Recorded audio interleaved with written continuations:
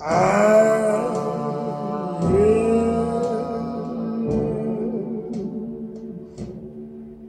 went down to St. James Infirmary.